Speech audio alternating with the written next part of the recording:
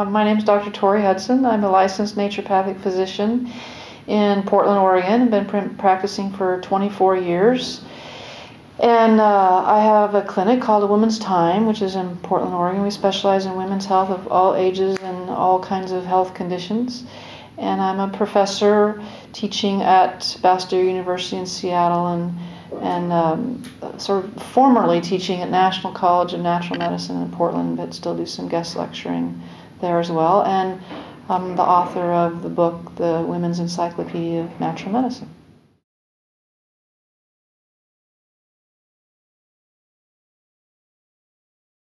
Severe endometriosis can be a really problematic condition, even a progressive condition in the pelvis, and associated with often lots of pain, pelvic pain during menses as well as other times, and infertility. Those are common presentations. And what we don't really know the the single cause of endometriosis, so we look at multiple causes, and there's multiple theories. And the one that's kind of the most compelling uh, more recently is that there's an immune dysfunction. And so, what natural medicine does is is actually focus on the alterations in the immune system to try to bring those into balance, restore those, improve how the body responds to these this tissue in an abnormal location, and helps the body to clear that tissue.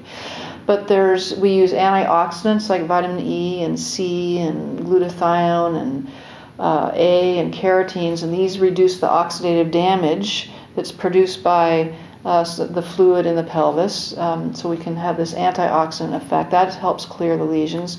We use natural anti-inflammatories like curcumin and bromelain and fish oils to reduce inflammatory chemicals that the endometriosis secretes.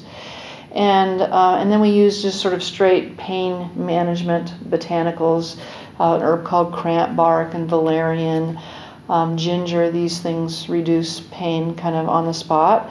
And, um, and there's other herbs that are a little bit more maybe unfamiliar to people. Boswellia um, reduces uh, some of the inflammatory cascade. Resveratrol, which is found in the, in the gra- uh, skin of the red grape, um, inhibits the estrogenic stimulation of the endometriosis.